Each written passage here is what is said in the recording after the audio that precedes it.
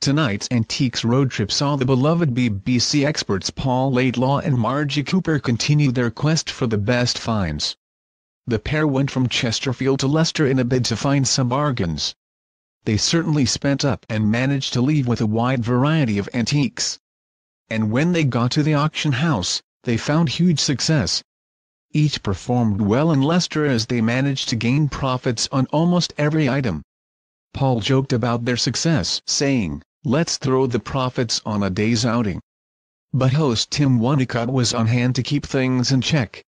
He insisted, no you will not. Let's get the abacus out. And as they totaled up their winnings, it seems there was some incredible profits for the pair. Margie managed to score a respectable £83 to add to her total. He managed to increase his piggy bank by £191, which is one of the biggest earnings seen on the show. But it was better news for Paul who was clearly the winner of the day. But will he be able to hold on to his lead as the duo head into the final day? Yesterday, Paul Laidlaw sabotaged the auction after claiming an item was plastic. While things went excellently for Paul throughout his bout of antique collection, Margie hit some hard times. But the punters weren't on board with it, as the £40 item began the bidding at a meager £30.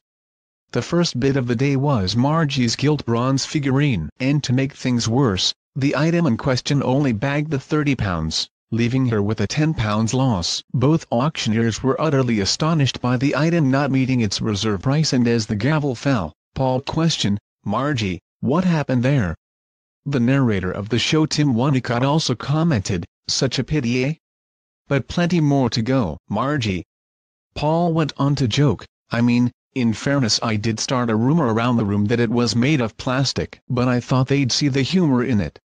Devastated, Margie put her head in her hands and sighed. Antiques Road Trip continues tomorrow at 5.15 p.m. on BBC Two.